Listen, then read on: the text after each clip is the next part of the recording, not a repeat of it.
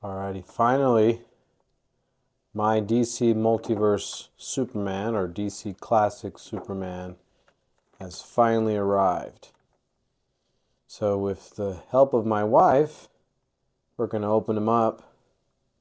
I'm going to look at him, talk to him a little bit, and then we'll talk about why he's in the collection and talk about Superman, where I will ne never get tired of talking about Superman. So let's get them opened up. So I don't usually do these.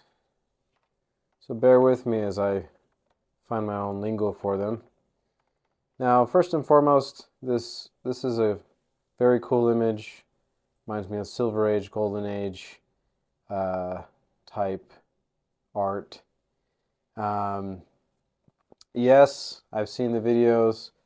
I don't see how this resembles this. And what I find cool and interesting at the same time, it's another DC Multiverse Superman figure.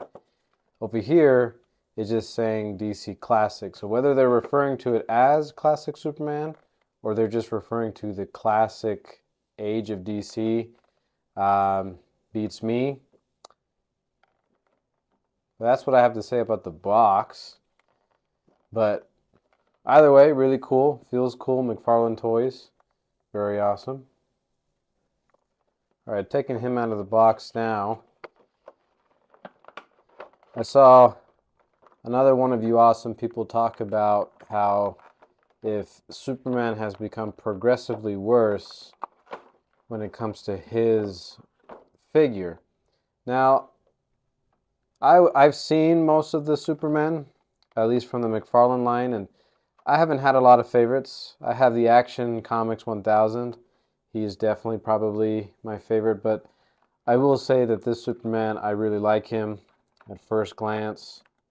Um, he really reminds me of me. Just kidding. Um, I will agree that maybe we don't have the perfect Superman figure because we don't have that yellow S in the background, but maybe someday. But I really like the figure.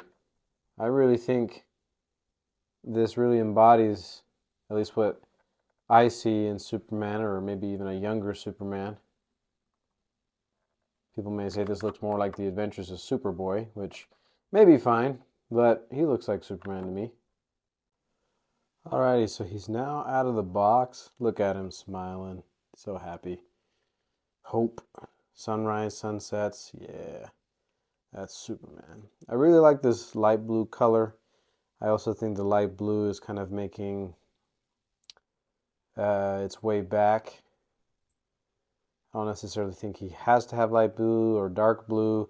I myself prefer royal blue, and not necessarily like a navy or dark blue on Superman. I love the S. The fists, yeah, I can see the whole thing that people talk about when it comes to proportions. He does come with these extra hands. A cool trading card that I should probably start keeping when it comes to my McFarlane, McFarlane action figures. That's a good little summary there. You can read that. I like this last part there. And an inspiration to countless other heroes. Superman is an unstoppable force for good. Yeah. Details are great. Now, is he the best Superman figure? I don't know. He does have some competition. And I would say that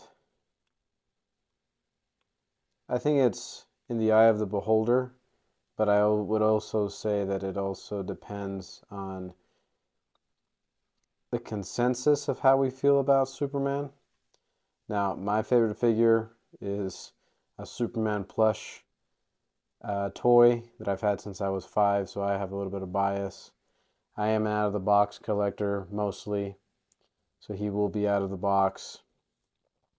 So I wouldn't say that he is the best Superman figure. I do would like to see one with that yellow cape. I am looking forward to the gold label Crisis on Infinite Earth Superman. But I'm just glad that he's finally part of my collection. Superman is, of course, my favorite, so I get a little nostalgic and emotional talking about my favorite character. So that's the figure, guys. Let's uh, let's move over and talk a little Superman, shall we?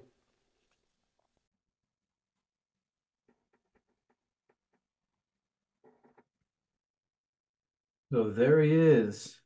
There he is, finally.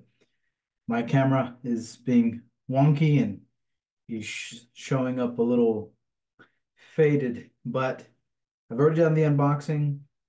Uh, I won't take more of your time talking about Superman, but I don't apologize for talking about Superman because Superman is my favorite. I'm highly anticipating Superman Legacy. So the only thing I want to add is why this figure is important to my collection. So besides being a, a big Superman guy, um, I want to look at the philosophical thinking behind the box, calling it a DC classic. So in my mind, and I know this isn't marketing, this isn't PR, this isn't what probably what they were thinking, but I'm thinking a DC classic, the Man of Steel Superman. So it's supposed to embody the likeness of the Man of Steel. Like one of the greatest things that I really appreciate about this figure is that he's happy. Superman is full of hope. Yes, life is is a roller coaster. It's it's full of ups and downs, highs and lows, things that help us become who we're meant to be. And he is he if you really understand the character of Superman, he doesn't escape from that. He's experienced loss.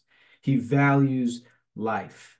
And that's part of the reason why it's important to have in my collection. And another reason is just I feel like it's one of the closest adaptations to uh, a Superman in action figure form. Now, someday I'll have a statue, you know, something to add to to that part of the collection. I wanted to talk a little bit more about the color so this right here is one of my favorite pops. You've probably seen them in other videos that I have, but this is a blue that I really like. You know, this royal-ish blue. And then over here, the Jim Lee pop that I have, this is my favorite Superman pop. As you can see, it also has that light blue-esque idea of Superman. So I think depending on the suit, depending on the story that you're going for, the color works. Now, in the video, you saw the Superman Action Comics 1000. Um, great figure as well. It's a very important figure to me. Um, it was a gift from my mama. And so there, there's just a lot of value in, for me when it comes to these pops, because uh, these figures, I should say, and of course these pops too. But I, and sorry, again, there I am stuttering. But it also reminds me of this, that he has that kind of light blue color. I know that the reflection of the camera doesn't show it, but in the World's Finest Annual, he has this really cool light colored suit. Now, wh whatever blue you like, it's up to you. For me, I don't mind the blue. It's great. Superman blue, light blue. There's this really cool snapback from Fanatics that looks awesome and it's, you know, resembling of this blue. So if you're debating whether or not to have them in your collection, uh, I highly recommend them. So